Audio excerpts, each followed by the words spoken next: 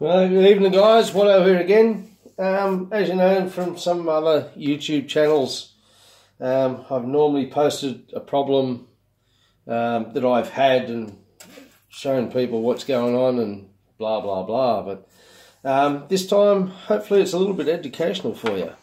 Um, I've got, um, well, I have been flying a, an ASW 28, and as you can see, the wing's a little bit worse for wear and tried to look for new parts of the wing um, or new wings and you can't get anything at a reasonable price. Um, wings are a reasonable price. Shipping is just over the top. So I've decided to go about cutting up some new wings. Um, I've used a foam cutter cut up some of this foam board that we've got over here in Australia. Um, and I thought I'd just show you how I've gone about it. Um, I know we've got some marks in these wings here. I intend to end up going over and um, fiberglassing the outside of the wings. So I'm hoping that'll take up any of the, the little indentations in it that I've got here. Obviously, I might have to build it up and um, take some time to build it up and then, then sand it back and get something decent. So um, I've cut the wings in four parts. So I've got the outer side, I've got the inner on the left, that's the outer on the left which I've done. Um, and I've, I've been tossing up how I'm going to go about getting the spar back into the centre. Um, I've looked at a number of things on YouTube, and there's there's hot wire guns that have solder like a solder gun, and they make a loop out of it and, and run it up through there, and it's that seems to me is one of the better ones. Um, Andrew Newton did one where he actually had an arrow shaft and, and made up a jig and, and sat it on the bench drilled in from the side, and I just, as much as about time to make up the jig, I was just unsure that I was going to drill parallel, or that was what I was scared of. Not saying that his method is bad or wrong or anything. Um, I reckon it's a great method. If if it works for him, well, that's all and great. I wasn't sure about doing it, so I thought I'd show you another way around it. So I still have to take out some bits and pieces from this wing here as I have marked um, to get it to fit into the fuselage. Um, as you can see from the other one, I've cut out bits and pieces. I've got it probably 90% of where I wanted to get it to. Um, obviously, there's still some final adjustments on that. But anyway, um, this is the actual spar that comes out of the ASW 28. Um, and I did notice on both of them, you've got a, a smaller, approximately six, six and a half, maybe seven mil tube on the end here, and there is that little bit of movement. Tighten down the screw, I've still got that movement. On the other side, it was loose as well. Tighten it down, and it got it nice and tight. Um, the square tubing that they've got that goes through the wings is uh, I, I haven't measured it exactly, but I would say it's somewhere around about nine mil square, maybe ten mil on the outer side. So I've cut that out of the out of the other wing, um, measured up where I have to be as as you can see through the lines here. My method in cutting out the spars um, that I'm trying is basically lining up now, the, the, the, bit of steel that I have here is just mild steel. It's probably about 3 mil thick, about 25 mil wide. Um, and I've just lined that up along the edge. Um, got my uh, soldering iron, um, wound it up to 450 degrees. Well, that's what it says. Well, um, it says it's blasted up to 450 degrees cheap Chinese thing, don't know, but um, it's working well. Method that I have is, and being awfully careful, um, is basically just running the iron along that steel rod that I have just ever slow, gently, and just a constant speed. Uh, now, I mean, your first couple of cuts you find are very easy and very neat. When it gets down to the nitty gritty side of things, I'll do it back the other way so you can see it as well. Um, you find it does get messy when you start to uh, get down to the bottom where you need to get that extra couple of mil here and there. So as you can see, the idea is run along just nice and slow all the way through. Try and keep a constant speed. You find it does dissipate the foam, as you can see there, dissipates the foam very quickly. So um, that's where running along the metal rod I find is nice and easy and neat. Um, at least your sides are neat. Um, and it does a really good job. Uh, like I say, it gets a bit messy when you start to to get down to the bottom. Um, to try and try and get everything out there. Uh, basically, once I get so deep, I go to the other side, line up, line up your bit of metal, and I'll start from here. Left-handed, I'm not overly brilliant at, it, as you can tell, but there again. At just a nice slow constant speed. You'll find as you start to cut it out it um, you work it out as you go. It's it's just nice and easy. Um, as we go there we'll turn that back up. I noticed that had just been turned down around about 350 and it doesn't cut half as well so now that I'm back up around the 400 again, um, uh, no, well, if we plug it in, from jumping out of the plug, you find it works a lot better as well. As you can see, the light's back on again. So, we're back up and running. Um, but like I say, nice and slow and steady. Um, I intend to, once I get all this dug out to where I need to be, um, I'm thinking I'll, I'll put epoxy in the base of it. Um, and then from the epoxy, then put my spar in there.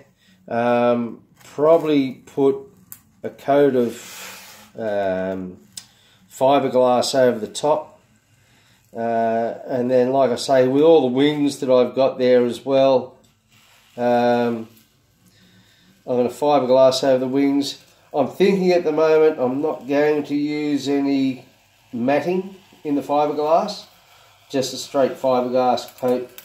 Uh, basically, try and save on a little bit of weight.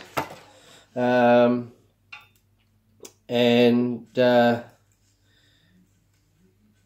see how we go there. So as we say, once we get down to the nitty gritty side of it, you find it gets rid of the plastic fairly quickly.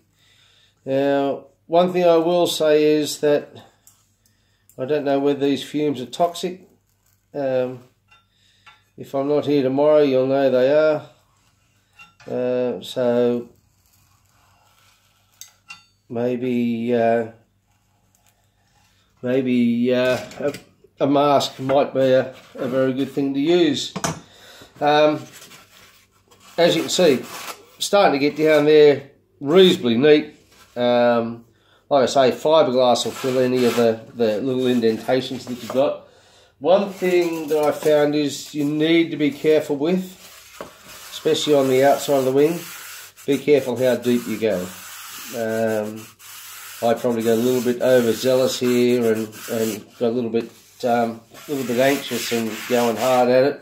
But the fiberglass will fill that up and once I give it a coat of fiberglass, it'll probably take two or three coats of fiberglass, and we'll we'll get that back right.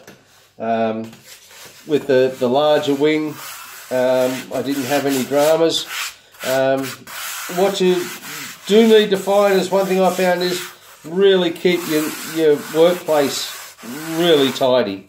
Um, as you can see with some here, I think you might be able to see it in the light, is the little indentations that I've got. Well, those little indentations are all this bits and pieces that I've got on the bench. So, like I say, I think the fiberglass will fill that up. Maybe it might take two or three coats of very fine, thin layers of fiberglass, and I'll sand it back with a, a really nice fine grit, something like probably 200, 240, maybe 300. We'll see how that goes. Anyway, I hope that's helped anyone. Um, and I hope and that's enlightened someone to give the wig building a go. I've um, I played with the hot wire stuff a lot, um, but never had any real success. Um, I'm actually to get these. Um, I, I I tried a number of things for the hot wire cutting, um, from 50 watt downlight light transformers. Um, we had dimmer switches in there, we had on-off switches in there, and and couldn't get anything to work.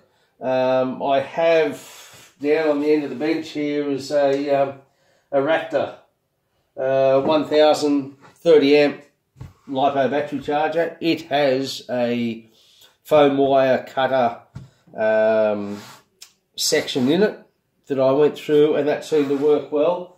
Um, the wire cutter that I've got is um, it's probably nearly a metre. Um, got the plugs in a little bit further. I've got 0.375 nichrome wire. Um, I did try and go with some um, fishing trace. Uh, I think was about seven strand, about five mil. I think it was. Oh no, 0.5 mil or something like that. It it wouldn't work with the Racta. Um, the Racta was sensitive to it and has just said there's a bad connection, nothing's working. So um, went back up, got some more nichrome wire, and we went ahead and cut. Um, showing some of my worst cuts. Um, that was how some of them came out. Um, but in saying that, even if they come out that bad, um, with this the foam that we're using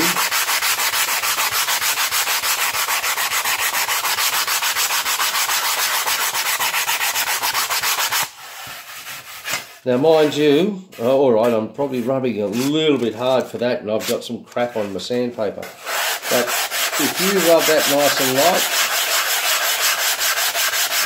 you find that you'll get all the indentations out of that without too much drama. So as long as you've got the you know like the the, the profile that you're after um, you can rub that back if you've got if you've got excess there um, you can rub that back and get it fairly smooth like I say I've got some shit on this sandpaper here so it's it's dragging it up just a little bit not a huge dilemma because, um, like I say, your fiberglass can fill that later on, but um, a lot of these imperfections can be rubbed out, and like I say, you can see you can get it back to smooth. So maybe you know, like I'm, I can't even see what grit I've got with that, but I think it's somewhere around about 60 grit that I've got. So it's, it's probably way not overly coarse to do your job, um, but you've got to be gentle. Um, so, but if you went up to 100 grit there, but be gentle. If you start to get, if you start to get a little bit heavy-handed, like I am at times, I want things done quick. um, you'll start to, you'll start to drag out little imperfections. So, but if you take it nice and smooth and, and slow and easy, you, will get a great result. You know, as you can see from these, apart from the indentations that I've got, you, have got a nice smooth uh, finish. Like I say, I've got an indentation there. That that was from a drop of the wire, but um, that, that'll fill out with a bit of resin.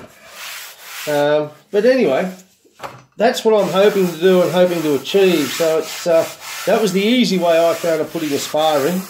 Um, quite possibly, I, I, may even may even just cut that back at you know 30 degrees or 20 degrees and come out about 10 mil or half an inch, and then then just put a put a a, a um, a piece of fiberglass tape over the top of that, maybe to give it a little bit more strength. Don't know. I, I, this is um, is a whole new build for me, um, and I'm learning as I go. And YouTube is a great founder of um, of what I've learned.